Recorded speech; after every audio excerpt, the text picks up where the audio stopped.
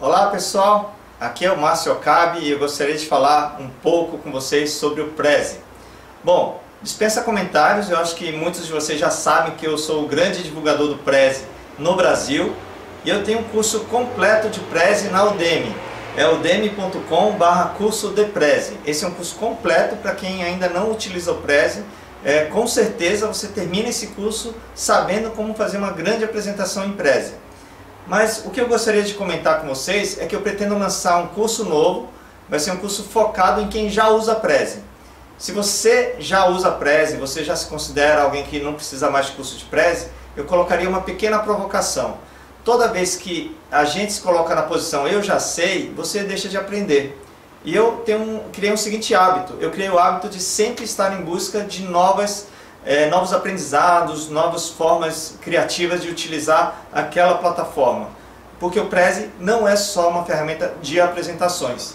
Então vou mostrar um dos usos do Prezi que eu considero muito bacana. É você fazer um mapa mental. Você fazer um mapa mental pessoal que você pode utilizar como um currículo, um currículo visual em Prezi. Então aqui no meu blog marciocabe.com.br você tem um mapa mental e na opção mapa mental, eu consigo colocar os meus projetos. Porque como eu faço muitas coisas, eu tentei colocar é, no Word, ficou horrível, né? Aquele formato do Word não é legal. Aliás, aquele currículo tradicional é, é em algumas situações eu acho que não, não serve de nada.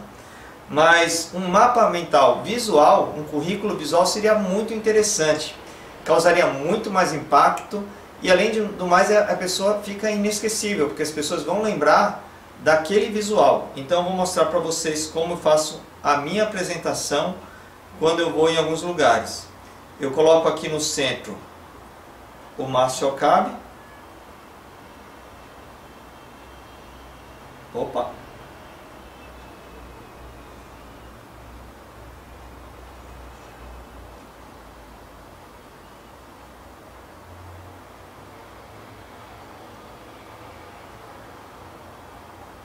Então eu vou mostrar o meu mapa mental, que é o meu currículo visual. Olha que bacana! Eu consigo mostrar as minhas atividades, a Academia Confid, a Confid Geeks, a parte de apresentações, o Wix Social que eu apresentei no TED Salvador 2011. Aqui o meu, os conteúdos, onde eu compartilho meus conteúdos, artigos, educação e autoconhecimento, alguns lugares que eu fiz cursos. Enfim, é uma forma muito bacana, muito visual e é uma forma criativa de você utilizar o Prezi. Então, aguardem porque esse curso, é, usando o Prezi de forma criativa, eu vou colocar sempre uma aula diferente, uma aula bacana para a gente ter um insight novo sobre como utilizar o Prezi. Então, espero, conto com vocês, participem do curso e eu tenho certeza que vocês vão sair do curso usando o Prezi de uma forma ainda mais inovadora. Um abraço e até o próximo vídeo.